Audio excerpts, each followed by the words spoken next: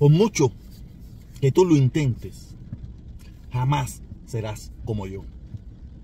Porque yo he demostrado en mi vida que tengo más valor que tú.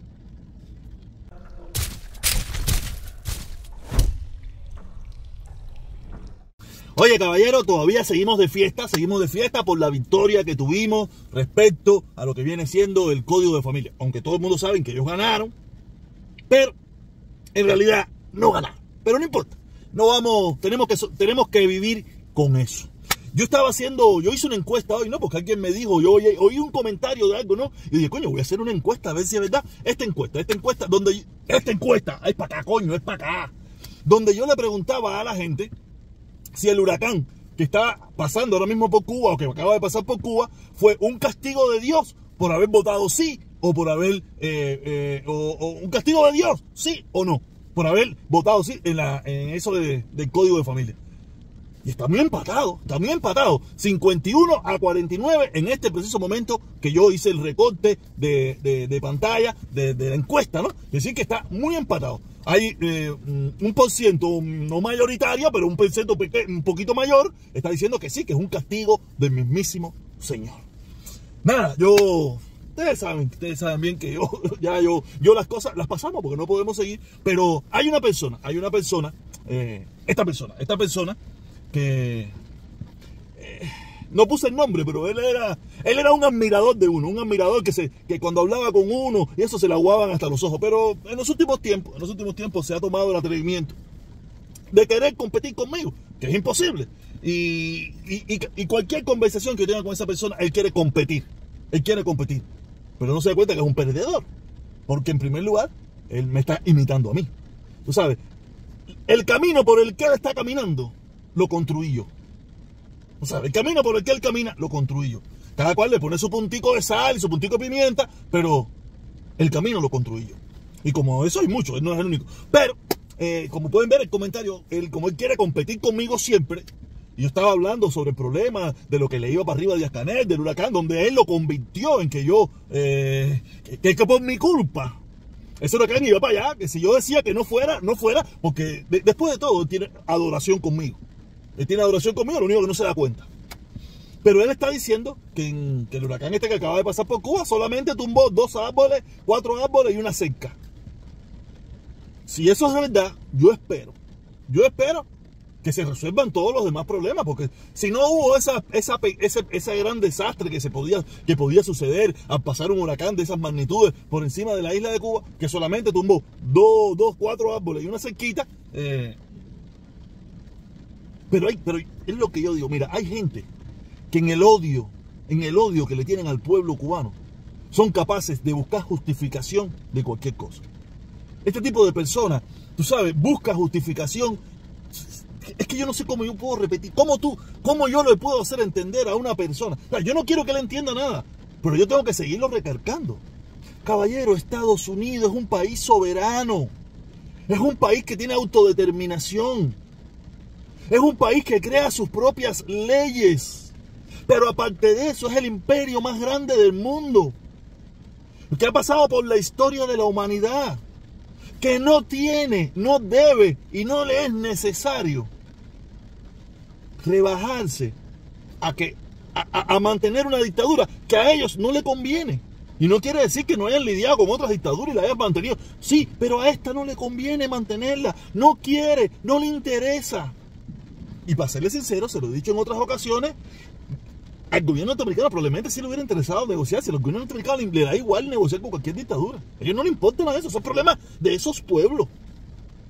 Esos problemas de esas naciones. Mientras sus intereses estén defendidos y estén cuidados, a ellos les da lo mismo. Yo lo he dicho, los únicos responsable de que el gobierno de los Estados Unidos no negocie y no perpetúe una dictadura como perpetuó en el pasado muchísimas dictaduras y sigue perpetuando en el futuro. En, este, en el preciso momento estamos viendo otras dictaduras, son nuestros políticos cubanoamericanos de Miami. Sin esos políticos cubanoamericanos de Miami, hace muchísimo rato el imperio norteamericano hubiera negociado con Cuba y le hubiera dado tres pitos si Fidel, si Raúl, si Díaz Canel a fusilan, matan, meten presos.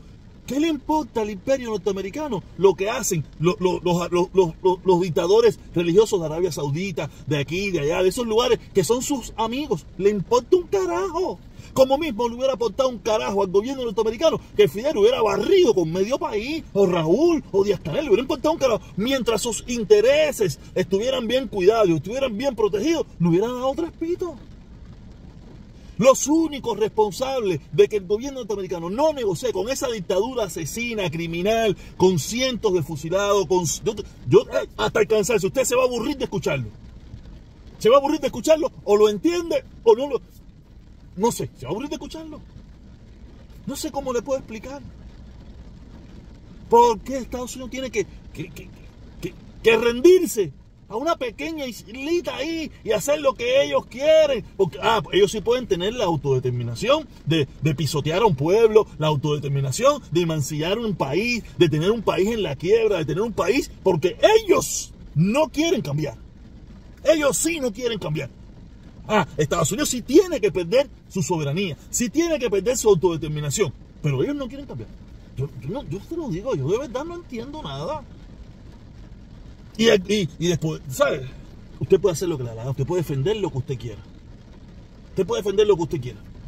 Yo ni voy a entrar en adjetivos, ni voy a entrar en, decirte malas palabras. Yo, no, yo no me dedico a eso. Yo estoy por encima del bien y el mal, de murmuraciones de tanta maldad, porque yo soy el número uno. Aunque usted no lo crea. Yo soy el número uno.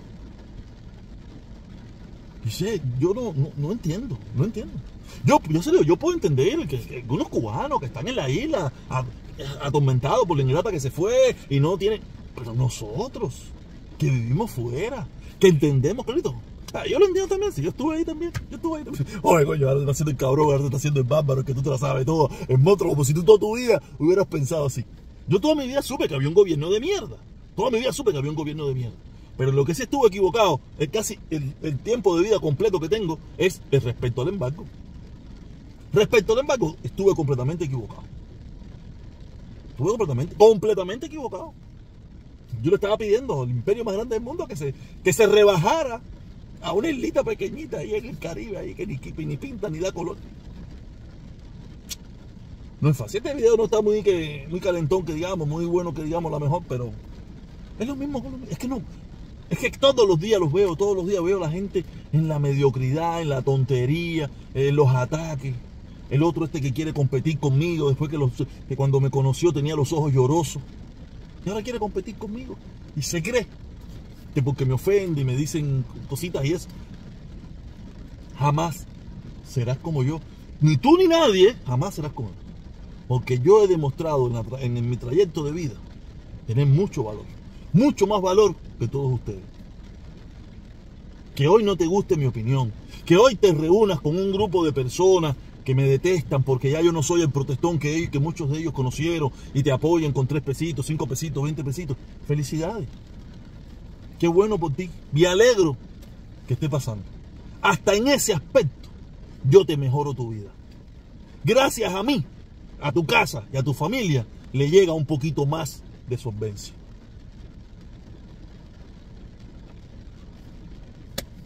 Fíjense,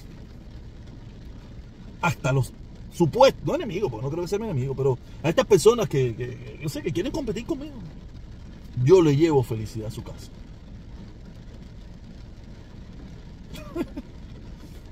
Tienen que aprender. Que ustedes hayan estudiado un poquitico más, hayan leído un poquitico más, no quiere decir que sean más inteligentes que yo. Porque si fueran más inteligentes que yo, multiplicarían por muchas veces lo poquito que yo he logrado. Y muchos de ustedes siguen estando por debajo de mí. Quiere decir que su inteligencia, su lectura, sus muchísimas cosas que han hecho, todavía está por debajo de mí. Como decía aquel verso de Vargas Vila, ¿por qué te ríes de mí si el universo de tu risa está por debajo de la virtud de mi desprecio? Con esa te la dejo. Eso era cuando yo era machista y esas cosas. Yo era un caballo loco. Ya, ya no sé ni lo que soy. Ya soy un tipo más pausado, más centrado, más tranquilo. Vengo a repartir cátedra. Suscríbete. Deja tu like, deja tu like,